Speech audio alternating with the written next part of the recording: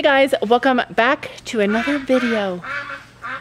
Our goose says they missed you. Our goose says she he missed you. Anyway, I wanted to make a video today. I'm feeling a lot better today. Thank you guys for all your kind comments. They were amazing.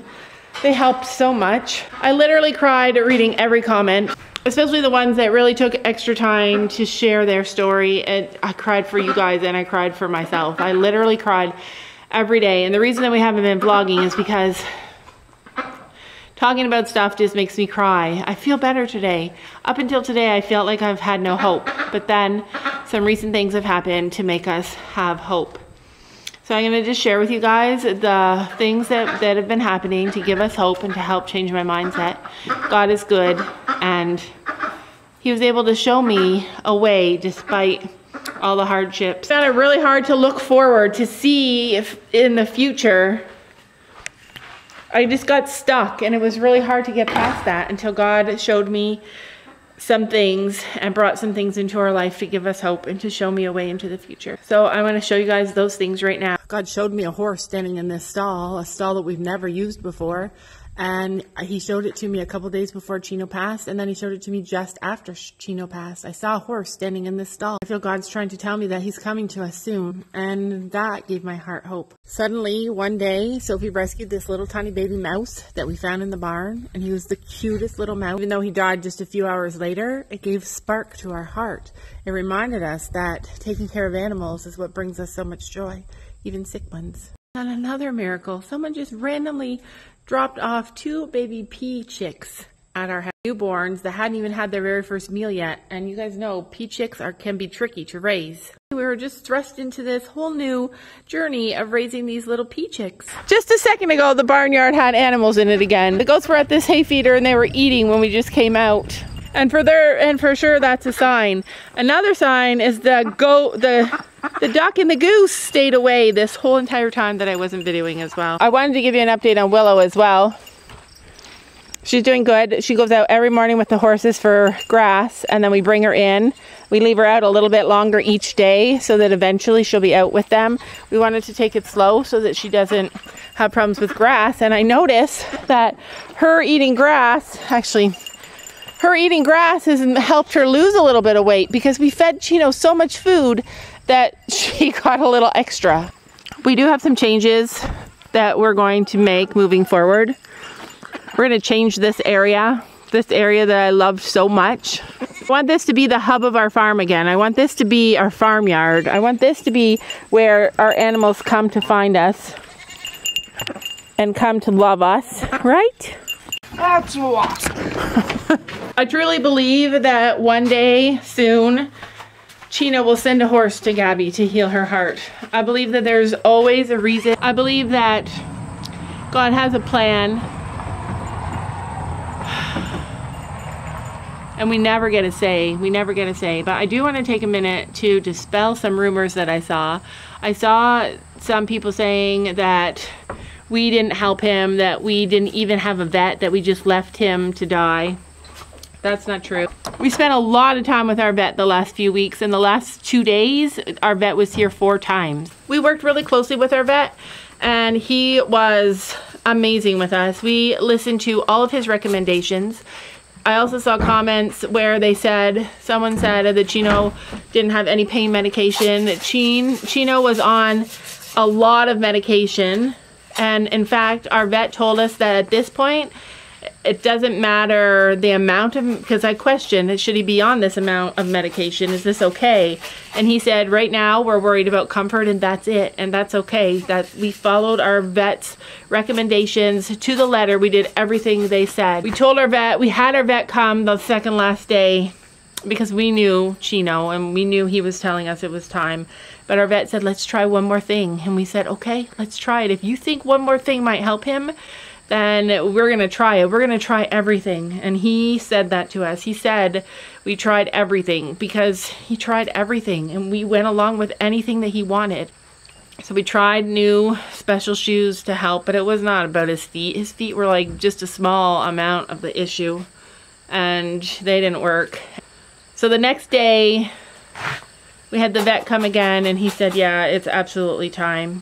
So, just to set the record straight, Chino had a lot of pain medication. The minute the pain medication stopped working, Get off me. the minute it became ineffective, that's when we called the vet to come back and reassess everything and and he did.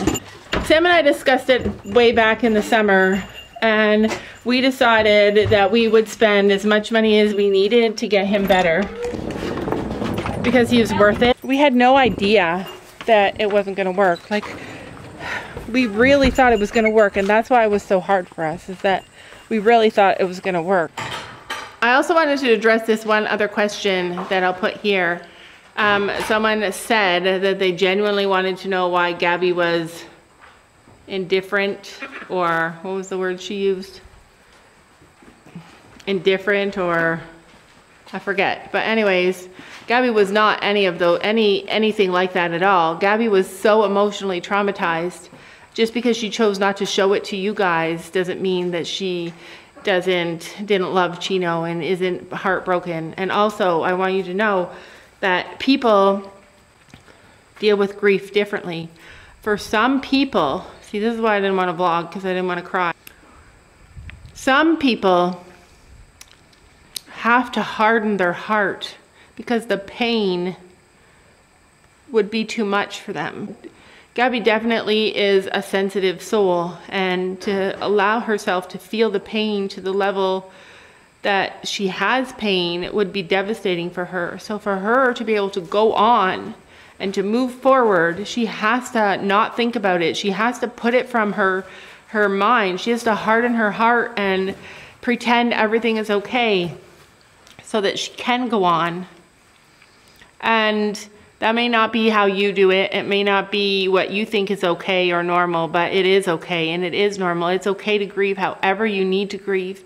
And I myself did the same kind of mechanism. I had to put everything away. I had to not even video. I had to just be quiet in myself and I had to not think about it and I had to not talk about it. I had to just try and get past it. I had to block it from me because the pain was just too much. And if that's how she needs to deal with it, then that's how she should deal with it.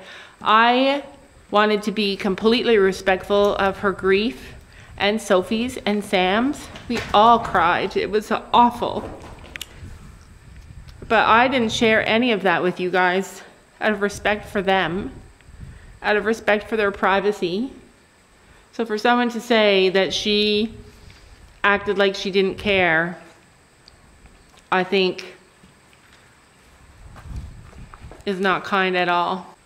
Hopefully the comment was not written by a troll who was just trying to, who wasn't just trying to invoke an emotional response from us and to cause pain because that's what they do.